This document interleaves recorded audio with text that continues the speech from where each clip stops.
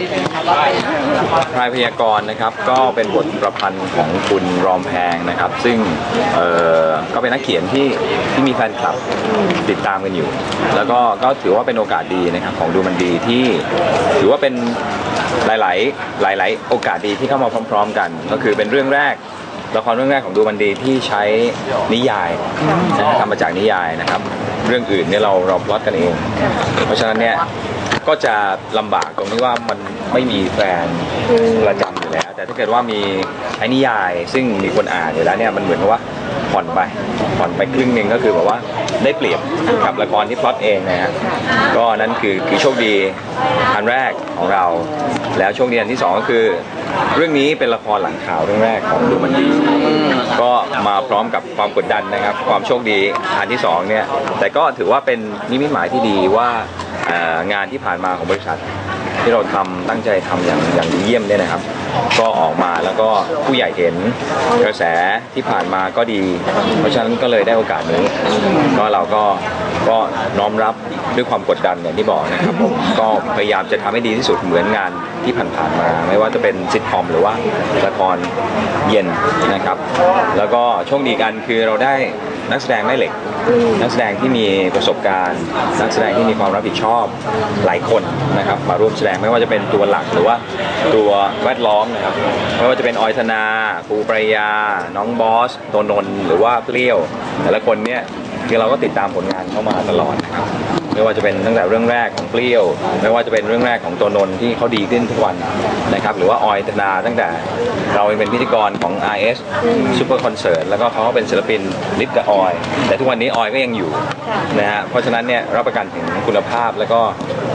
ศักยภาพของการเป็นนักแสดงของเขา นะครับส่วนปูปรยาก็เป็นนักแสดงที่มีเสน่ห์นะครับแล้วก็มีความสามารถแล้วคิดว่าตรงกับคาแรคเตอร์ตัวนี้นะครับก็คิดว่าส่วนผสมของสามโชคเนี่ยดีขนาดนี้เชื่อว่าออองค์ประกอบดีดีๆ แบบนี้ที่มารวมกันน่าจะนำมาซึ่งซึ่งผลการตอบรับที่ดีเช่นกันนะครับ เพราะว่าทุกคนก็ก็ด้วยความกดดันของทีมงานและหน้าที่ตรงนี้ ทำให้ทีมงานของเราเนี่ยตั้งใจอย่างมาก เคยทำร้อยตอนนี้ทำสองร้อยนะฮะเพราะฉะนั้นเนี่ยก็หวังว่าจะได้กระแสตอบรับอย่างที่เราตั้งใจจริงๆนะครับกับการคาดคาดหวังนะคะของคนดูอะไรเงี้ยจากนิยายมาเป็นละครอะไรเงี้ยคงมีแน่ ๆ แต่ว่าเราเราก็ไม่ได้ไม่ได้ดัดแปลงให้ให้ให้แย่ลงนะครับ เราก็พยายามใส่เหตุผลแล้วก็เอ่อเสริมไอ้ตรงที่คือบางทีนิยายมันมีมีประมาณ 2 3 0 0 หน้าเนี่ยเล่าเป็น 15 ตอน 2 ชั่วโมงเนี่ย 30 ชั่วโมงเนี่ยมันลำบากมันยากมากในการทำเป็นละคร เพราะฉะนั้นเราเราต้องหารายละเอียดอื่นๆที่จะเสริมทำให้นิยายเนี่ยยิ่งสนุกขึ้น แล้วก็เอ่ออาจจะมีกลิ่นนิดๆที่อยู่ในนิยายเราก็ไปขยายกลิ่นตรงนั้นให้เป็นภาพทำ ไม่เคยมีตัวละครตัวนี้ แต่เราใส่ไปเพื่อเพื่อที่ทำให้น่าสนใจ ยกตัวอย่างง่ายๆเลยคือในนิยายเนี่ยจะมีตุ๊กแก ตุ๊กแกเจ้าที่อยู่ ซึ่งเราก็อืมตุ๊กแกเจ้าที่จะมาทำเป็นภาพยังไง ให้คนดูที่บางคนกลัวหรือว่าขยะแขยง เปิดดูเจอตุ๊กแกปั๊บเปลี่ยนช่องแล้วเนี่ย จะทำยังไงให้เปิดมาปุ๊บอยู่กับเรา เพราะฉะนั้นเราก็เลยต้องต้องดัดแปลงตรงนั้นให้เป็นตุ๊กแกที่สามารถแปลงร่างเป็นเด็กได้ เพราะฉะนั้นเด็กที่ได้รับ หน้าที่นี้นะฮะซึ่งหนักอึ้งมากเนี่ยคือรีวายนะครับเพราะฉะนั้นใครเห็นรีวายก็รักอยู่แล้ว เพราะฉะนั้นพอมาเป็นตุ๊กแกรีวายเนี่ยมันก็จะเป็นแบบว่าเอออะไรที่น่ารัก แล้วก็คนก็สนใจว่าจะทำออกมาเป็นยังไงด้วยด้วยด้วยความที่เป็นบทกลัวแบบจะดัดแปลงแล้วแบบจะกลายกลัวเป็นจะนักเพี้ยนไปอะไรอืเงี้ยมไม่ครับเราเคารพเพราะว่าเราเราก็โตมากับการเป็นนักแสดงเนาะค่ะ แล้วก็เราเองเราก็เข้าใจว่าเวลาเราพลอตอะไรเนี่ยถ้าเกิดว่าใครมามาปรับมาเปลี่ยนให้แย่ลงเนี่ยมันมัน มันก็คงเสียใจ แต่เราเนี่ยพยายามทำความเข้าใจกับสิ่งที่เขาต้องการนำเสนอ เพราะฉะนั้นเนี่ยไม่ได้เป็นเป็นเปลี่ยนของเขาแต่หมายถึงเสริมทำให้ของเขาเนี่ยชัดเจนขึ้น ต้องเรียกว่าเสริมมากกว่าไม่ไม่ได้เป็นการดัดแปลงทำให้มันมันมันเพี้ยนไปแต่การอย่างยกตัวอย่างตุ๊กแกเหมือนกัน คือตุ๊กแกไม่รู้จะทำให้ตุ๊กแกพูดได้ยังไง เราไปพากย์มันก็คือดูน่ารักอะดูตลกไปหน่อย เพราะฉะนั้นเนี่ยถ้าเป็นเด็กมาเล่นเลยเนี่ยมันก็คือให้เขาพูดไปเลยว่านางเอกสื่อสารกับตุ๊กแกได้ แล้วมันเหมือนกับว่าเออมันก็เรื่องของการถ่ายทำก็ง่ายด้วย แล้วก็มันมันสร้างมิติใหม่ ๆ ซึ่งเป็นเป็นการดีไซน์มากกว่า เหมือนว่ามีโจทย์อย่างนี้มา แล้วพยายามดีไซน์ว่าตีโจทย์ออกมาให้มันมันคนดูเข้าใจง่ายที่สุดเนาะ เพราะฉะนั้นเนี่ย สิ่งที่เรากำลังทำอยู่มันคือการการเสริมการเน้นทำให้สิ่งที่นักเขียนเออความคิดของเขาเนี่ยชัดเจนขึ้น แล้วก็เอ่อสื่อสารกับคนดูได้มากขึ้น เมื่อเป็นภาพ เราจับตัวอักษรมาเป็นภาพให้ชัดเจนขึ้นพอมาเป็นละครกลางคืนต้องใส่ใจความเป็นพิเศษมากขึ้นเลยมากเลยครับมากๆเลย เพราะฉะนั้นเนี่ยโชคดีที่ได้โต้งนะครับโต้งโต้งเป็นผู้กำกับอีกคนหนึ่งซึ่งซึ่งมาร่วมร่วมมือกัน คืองานนี้ทำคนเดียวไม่ได้ละก็คือต้องต้องมีมีมีคนมาคอยช่วยละซึ่งเออจะแตะมือกัน โต้งถนัดตรงไหน เราถนัดตรงไหนก็พยายามทำงานเป็นทีมเวิร์กอะคือเราเรียกทีมทีมทำบทของเราทีมกำกับ หรือว่าทีมเบื้องหลังเราว่า dream team นะครับเพราะฉะนั้นเนี่ยไม่มีใครเด่นกว่าใคร ทุกคนจะจะจะเท่ากัน จะมีหน้าที่ที่ที่เป็นฟันเฟืองที่สำคัญของกองถ่าย เพื่อทำให้ละครเนี่ยประสบความสำเร็จ หรือไม่เนี่ยแต่ละคนต้องทำหน้าที่ให้เต็มที่เรื่องนี้จะได้ชม จะได้ชมเมื่อไหร่นะครับ อันนี้คำถามนี้ก่อนนะฮะเพราะว่ามาถึงหูก่อน ครับเรื่องนี้จะได้ชมเมื่อไหร่เลยครับ ก็ไม่น่าจะเร็วกว่า 3 เดือนนะแต่ไม่แน่ไม่แน่ไม่แน่ถ้าเกิดว่าช่องเขาเร่ง เราก็อาจจะมีมีไปเอาไปเออกลัวไหมครับว่าจะต้องถ่ายไปออนไม่กลัวครับเราโตมากับการถ่ายไปออนไปนะฮะแต่แล้วก็ อย่างที่บอกนะโชคดีที่ได้นักแสดงที่